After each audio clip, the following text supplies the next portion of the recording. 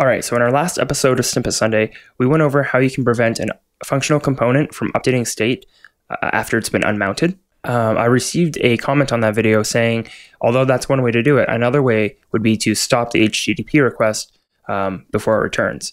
So today, that's what we're going to look at. We're going to prevent the HTTP request from returning, and instead, that'll stop the update because it'll never happen.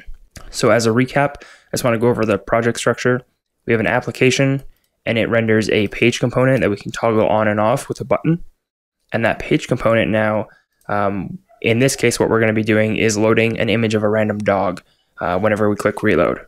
So we can click the reload button and get a new dog, click it again, get a new dog.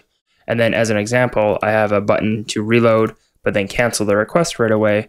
Uh, so it, it never returns and we never get a new dog. And then we can go back and reload again and get another one. And then as before, we can also toggle on and off the page component. And whenever that mounts, we get a new dog because our use effect is running.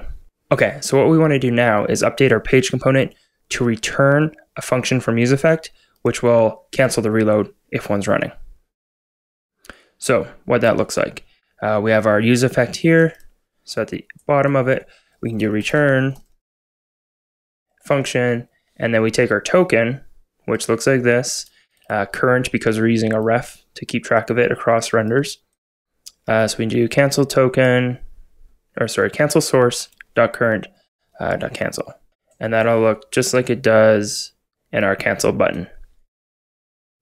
Uh, and then I guess the last thing we want to do is um, toggle the page somehow before that returns.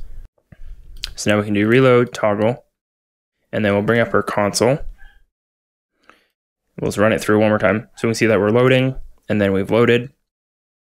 And then when we reload, we reload, we load, and we're loaded.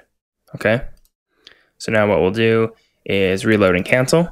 And we see reload with cancel, start the load, cancel, and then we throw an error, which is what happens when you cancel the Axios request. So you can catch it and do something special if you wanted to. In this case, we're just going to log it out. Try it one more time. We'll do reload, toggle page. Uh, we didn't really get quick enough there.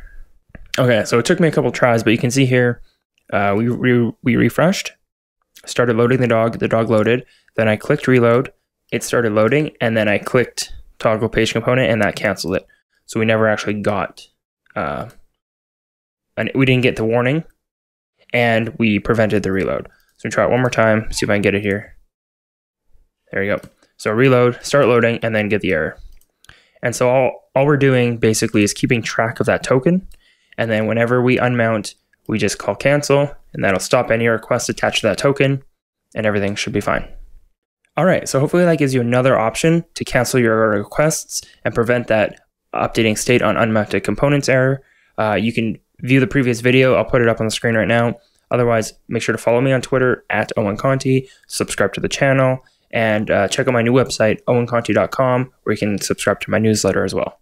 Thanks.